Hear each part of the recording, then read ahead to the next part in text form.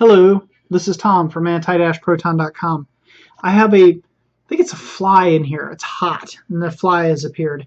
I will find the fly and kill it. I hate flies. Anyway, damn thing. So basically put, uh, um, I have a couple chatty type things I wanted to explain to everybody. I'm going to be doing my other videos too, you know, where I run around with my devices and show stuff and neat things. I'm doing those too, don't get me wrong. I'm not switching to this format. I just am going to do these as well also because I have a lot of things to say. And if you don't like to watch them, then that's fine. But if you do like to watch them, then this will give you a good chance. Um, I'm going to try to start clearing up a lot of misconceptions. By the way, I like to make a note when a misconception I'm clearing up is my belief or actual valid fact.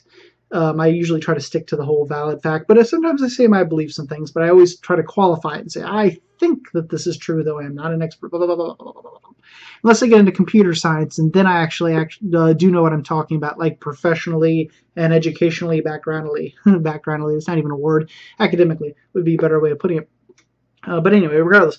Uh, I was making up words there. Um, first and foremost, I keep getting messages from people who watch the videos, right? And then they freak out in some bizarre way, and I don't quite get what it is. Let me explain. You'll get people that come out and say something like uh, Fukushima is going to cause a million deaths. Cancers are all over the place from it. They'll say say stuff like this.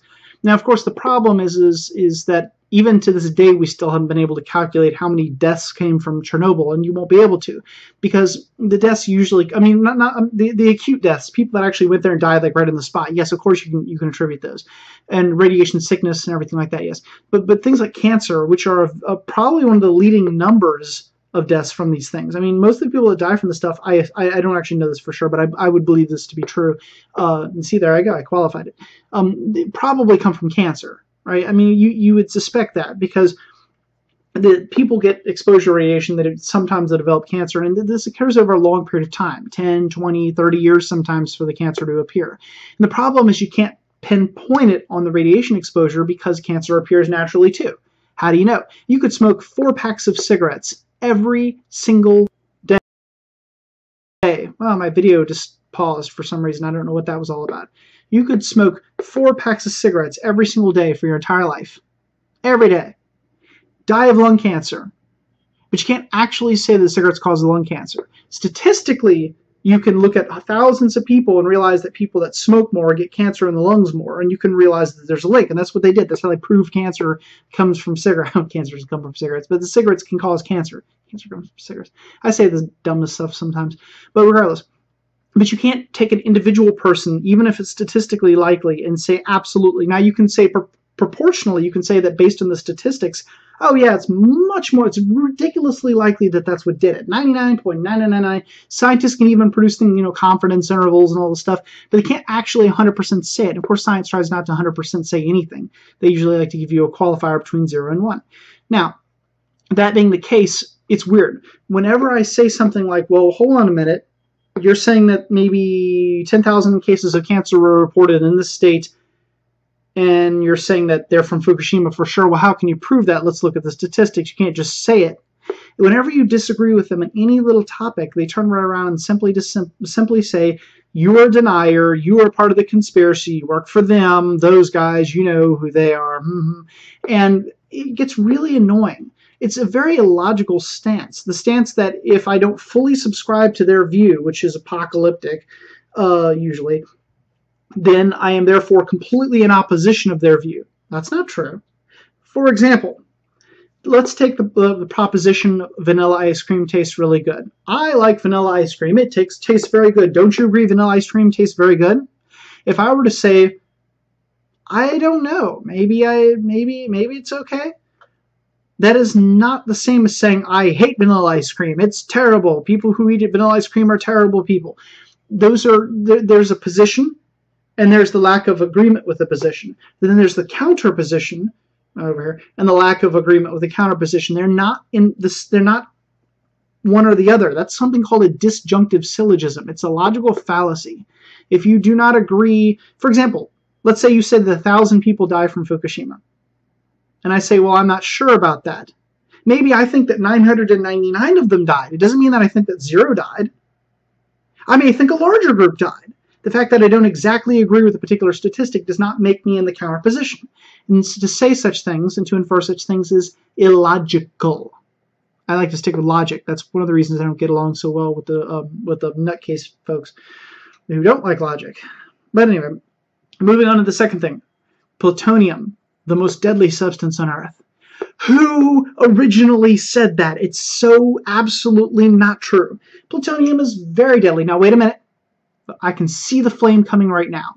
You don't think plutonium's deadly? How all these cases of cancer come from plutonium? It's deadly. If, of course it's deadly. Duh. So is cyanide and arsenic. Plutonium is chemically deadly, meaning forget the radiation. The chemical part alone is deadly. It's a heavy metal. builds up in, I think, your kidneys off the top of my head. I'd have to double check that to be sure. But it builds up somewhere. I think it's your kidneys. terrible stuff. And forgetting the chemical part of it for a minute, it's radiologically dangerous. It produces alpha particles, and its decay progeny are also radioactive. Oh, yeah. Plutonium's deadly as hell. It's very deadly. Nasty stuff.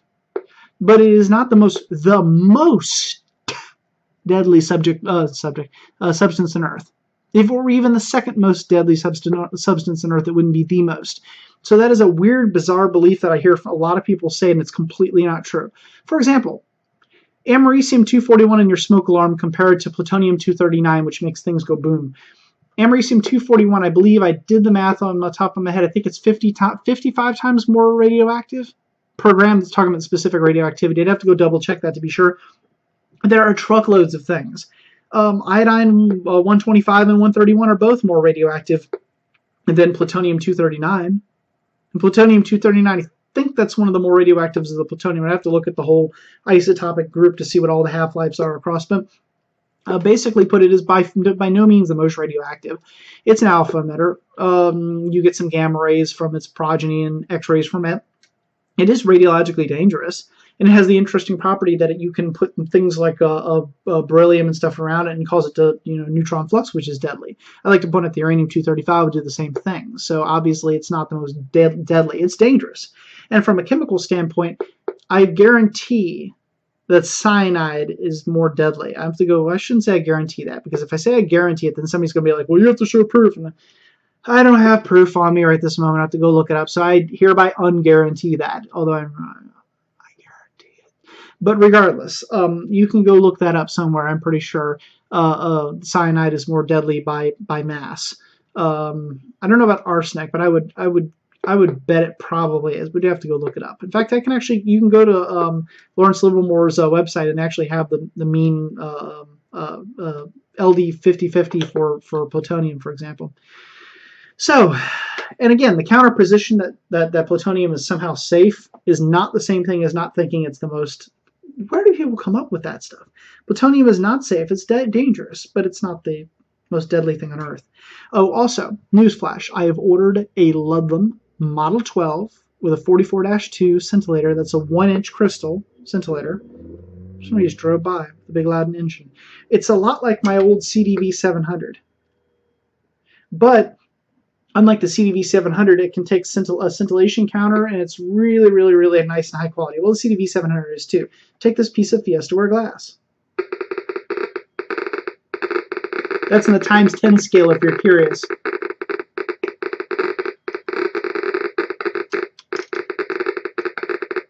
Hmm. What's that come out to? About 1,500 counts per minute.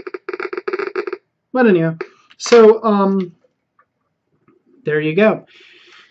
So that's everything on my list right this moment. I'm hoping next month that I'm going to go on a trip somewhere where I can take more readings, more readings, hoping to take high altitude gamma spectroscopy on an airplane. So this has been Tom from anti-proton.com, and uh, yeah, bye bye.